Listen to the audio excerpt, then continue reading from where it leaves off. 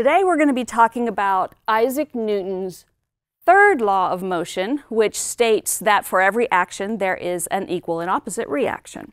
So uh, you might want to start by telling the kids, this one kind of they found very interesting, that their body, their weight, is exerting a force onto the floor. You can ask them how many realized that the floor was also exerting an equal and opposite, so an upward force, on their body. Their, their weight is a force pushing down on the floor, but there is also a force of the floor pushing up onto them. Otherwise, they would be sinking down into the floor. All right, so the first one we're going to do here is called spring thing. And you can use any springs. I chose to use the cat toys because they're just plastic and you know more safe than someone getting pinched in a metal spring, but depending on what kind of springs you have, really any spring could do. What we're going to have them think about today isn't just the springy can, you know, make springy and bendy. We're going to have them also think about the equal and opposite force. All right, so if you're pulling it out, the spring is trying to pull back in, and you can feel that. If you're compressing it, the spring is trying to stretch back out. Same with bending it, things like that but also have them think about the fact that their fingers are exerting a force onto this spring. But the spring is also exerting a force onto their fingers. Otherwise, they would go right through it. Okay, so equal and opposite force there.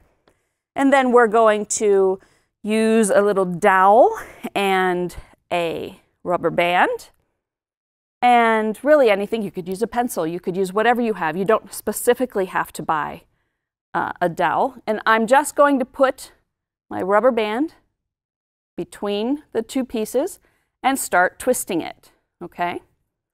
Now, when the kids are doing this, you might want to have them have their hands down on the table or it might keep, um, it, it might undo on them. So this helps it between twists to keep it down you can ask the kids, what do you feel that that rubber band is trying to do? Do you feel like it's trying to unwind back to its normal state?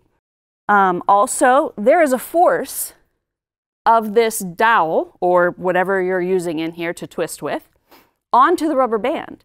But there's also a force from the rubber band onto the dowel. And same thing with your fingers. Okay, so they can twist it a little bit, and then they can lift up a little and just watch it watch it unwind and want to go back to its normal state. I would caution don't have them lift it up and let it go, or these are going to go flying. Probably not the safest thing to do.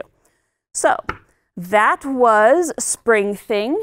Now we're going to move over here to balloon jousting. So Matthew is going to help me. And this again is going to teach a little bit about Newton's third law, which was the equal and opposite forces. For every force, there's an equal and opposite force. Really, for any action, there's an equal and opposite reaction. This one, we're going to use straws. I chose to use the large straws. Really, depending on the size of your cording, any size straw would do as long as it fits well through your cording. Um, the cording that I used was just number 18 mason line. Okay, so we are going to cut our cording. I put little handles on for the helpers because you're going to need helpers. And this made it easier for them to hold. And then you're going to thread, there's a handle at each end, you're going to thread two straws onto this cording, okay? Then you're going to get some tape. We used painter's tape. You do not want sticky, sticky tape for this because then no one will ever win their jousting tournament. So we're going to put some tape straight on.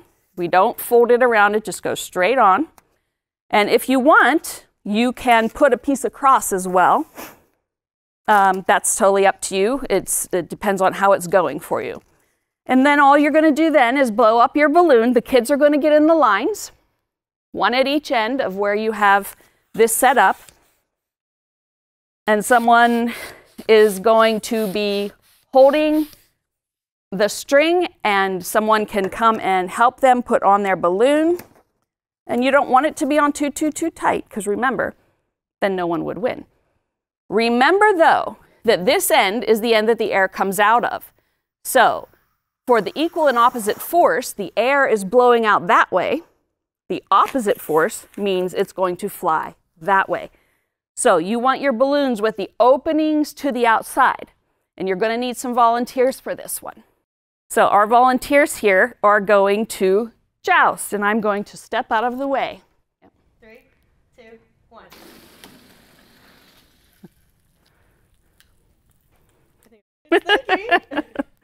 okay, sometimes the balloons are going to fall off, sometimes they are not. Then again, in jousting, sometimes the rider falls off his horse and sometimes he doesn't.